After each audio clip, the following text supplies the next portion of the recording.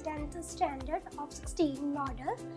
I came here IELTS learning for spoken classes. I had improved lot of as here there's very very good teachers and improve myself very grammatically wrong which the most of the people do.